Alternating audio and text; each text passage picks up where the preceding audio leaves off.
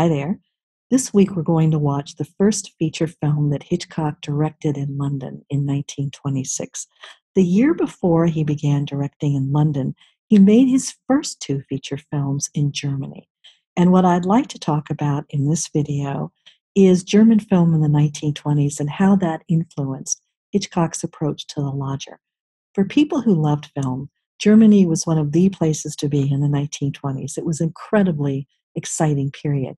And Hitchcock had the chance to observe some of the major directors of the time at work when he was in a major German studio. He was also influenced by a dominant film movement of the time, an art movement called German Expressionism.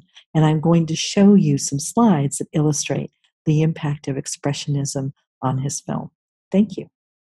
In the first video for this week, I talked about Hitchcock's career in London in the 1920s and how he worked in many different aspects of the film industry, from creating publicity, writing and adapting scripts, and editing. In 1925, he was offered the opportunity to travel to Berlin to work as an assistant director on a film called The Blackguard. He ended up directing part of the film, and his work impressed his bosses back in England so much that he was able to return to Germany later in 1925 this time to Munich. While he was in Munich, he directed his first two films, The Pleasure Garden and The Mountain Eagle. The Pleasure Garden still exists and you can watch it on YouTube, but nobody has been able to find a print of the Mountain Eagle. That's the one you see here. It's number one on the British Film Institute's most wanted list of lost films. I mention it because if it ever turns up, you'll hear about it all over the news and you will know why it's important. So Hitchcock made two trips to Germany in 1925, and they were crucial to his artistic development. Why Germany, we might ask? In the history of film and many other art forms, there are certain decades where we see an explosion of ideas, and the 1920s was one of those decades. Startling new films emerged in Germany, France, the UK, Japan, and the US. Germany was a place that an up and coming filmmaker like Hitchcock wanted to go. There was an enormous studio outside Berlin called UFA that was the largest studio in the world at the time, bigger even than anything in Hollywood.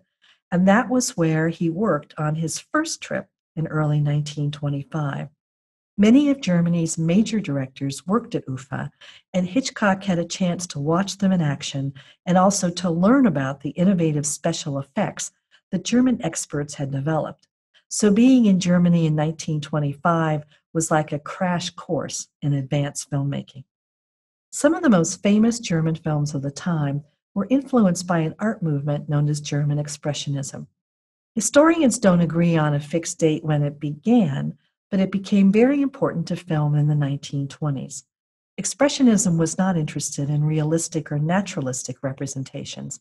Instead, artists created distorted images that were meant to have an emotional effect. You can see those qualities in this poster for the lodger. The poster features abstract geometric shapes that create an angular, jagged effect. The world of German Expressionism is shifting and unstable. Visually, we don't feel secure in this space, and neither do the characters in the lodger. In fact, we see this jagged visual style right from the beginning of the film on the credits. I'm going to give you a heads up. The Lodger is a silent film with intertitles. Intertitles are words on the screen between the visual images, and they are carefully designed too. Hitchcock designed intertitles early in his career, so he paid attention to them. In German Expressionist films and in The Lodger, the abstraction and distortion I mentioned are often created through lighting and the use of shadows. Here is an image of Mrs. Bunting in her bedroom. She hears her lodger leaving the house late at night and wonders what this means. Her world is becoming more unstable, and anxiety and claustrophobia are closing in. Those feelings are conveyed through the giant shadows on the wall behind her. Those shadows also look like bars of a prison cell, emphasizing her feeling of being trapped. We'll see many uses of shadows and prison bars too throughout the lodger. Besides prison bars, there are other visual motifs that we see in German films of the 1920s, such as staircases. German films sometimes featured staircases seen from above, and we see this image in The Lodger as well. In fact, that is the lodger's hand there on the railing on the left. Shooting the staircase from above creates a dizzying effect, almost like vertigo, and emphasizes the feeling of instability that I mentioned. We can also see the staircase motif in, in some of Hitchcock's films later. Here we see a similar shot in Vertigo and another one in Psycho. The staircase imagery reminds us how German films of the 1920s influenced Hitchcock's thinking even decades later. We also know that there were specific films that directly influenced The Lodger. One of them was the original Dracula film Nosferatu from 1922. If you haven't seen it, it is just the thing for Halloween. When the lodger arrives at the Buntings' door on the left, He's framed in the doorway in the same pose as Nosferatu there on the right, and the lodger evokes a similar feeling of dread. We also know that Hitchcock got to watch the director of Nosferatu, F.W. Murnau, when the two of them were at UFA.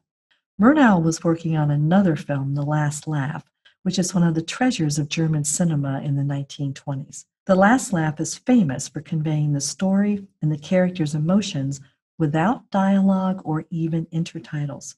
Hitchcock was fascinated by the film's use of close ups, and he said many times that The Last Laugh shaped his thinking about the close ups in The Lodger.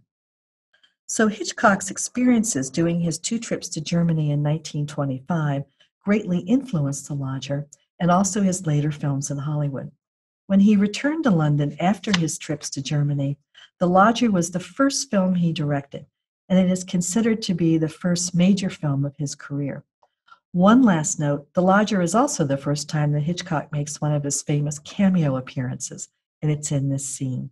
He's in a newspaper office on the phone. I hope you've enjoyed looking at the memorable visual style of The Lodger and learning about the impact of Hitchcock's time in Germany on his work. Thank you.